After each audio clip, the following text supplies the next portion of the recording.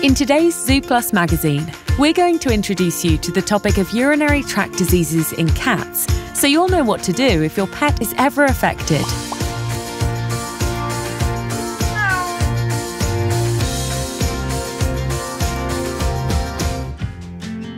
Cats are particularly good at hiding discomfort and even pain from their owners, so we often have no idea that there's anything wrong, and it can be even harder to find the cause. Additionally, the signs of urinary tract diseases tend to be complex and can occur either on their own or in combination with each other.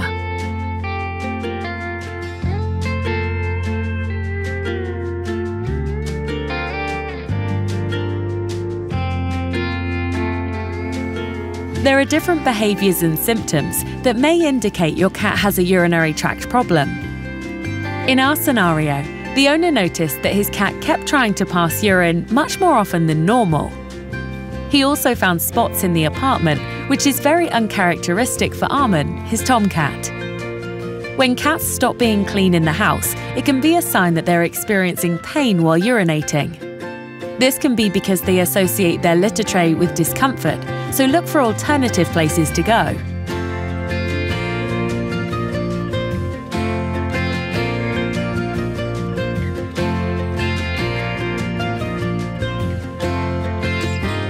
If you notice one or more such behaviours or symptoms in your cat, it's time to act. A quick clarification from the vet is important, as clinical pictures can vary and there could be serious consequences for your cat if symptoms go ignored.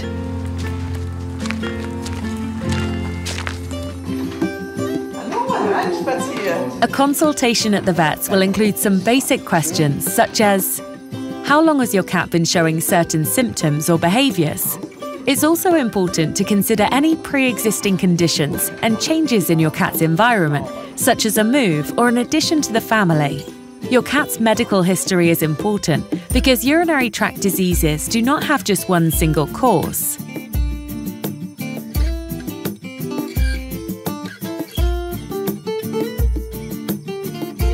A distinction can be made between three main clinical conditions.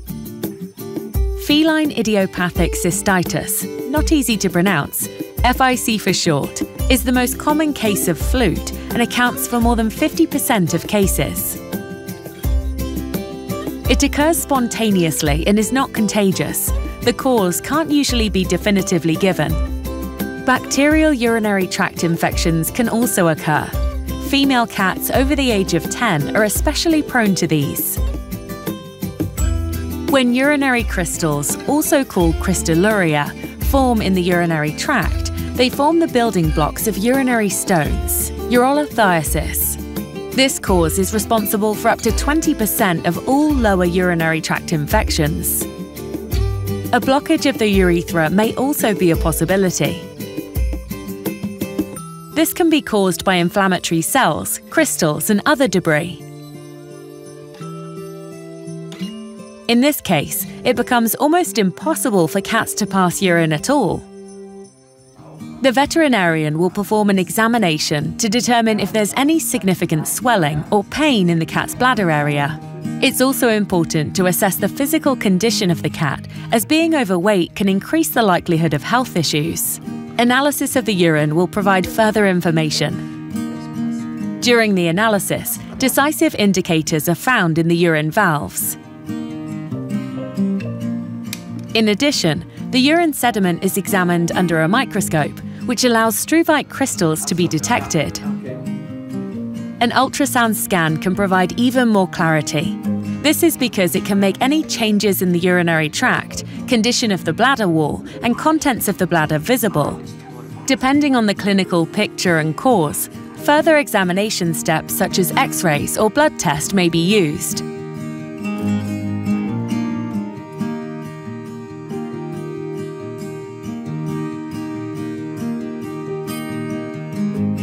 Armin is a tomcat whose urine was alkaline, i.e., had a high pH value. The vet evaluated the ultrasound scan and x ray images. Stones were not visible. Armin only has urinary crystals. This explains why he had difficulty passing urine.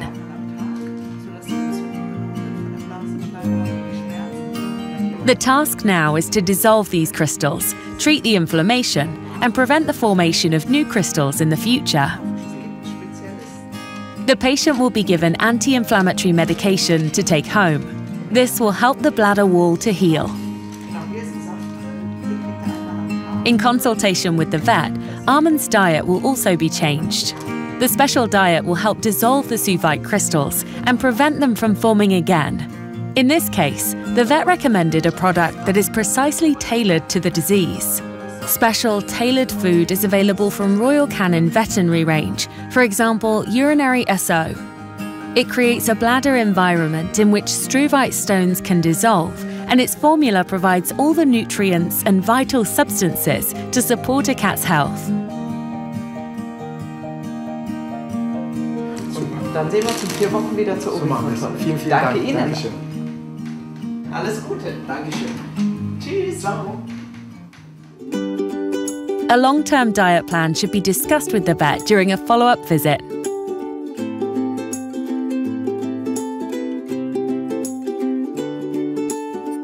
What's more important than ever for your cat is to drink lots of water.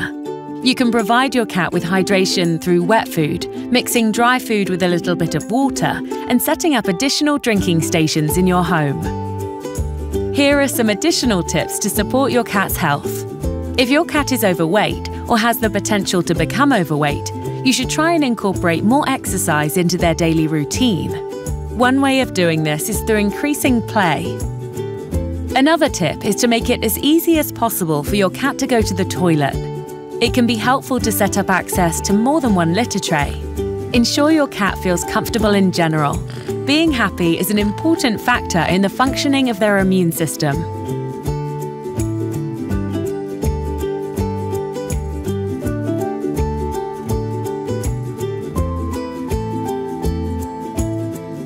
If treated quickly and correctly, the prognosis is good. However, urinary problems can often reoccur within a year. Even if your cat is visibly better, it's a good idea to visit the vet again after 14 days for a follow up, as well as for regular checkups throughout the year.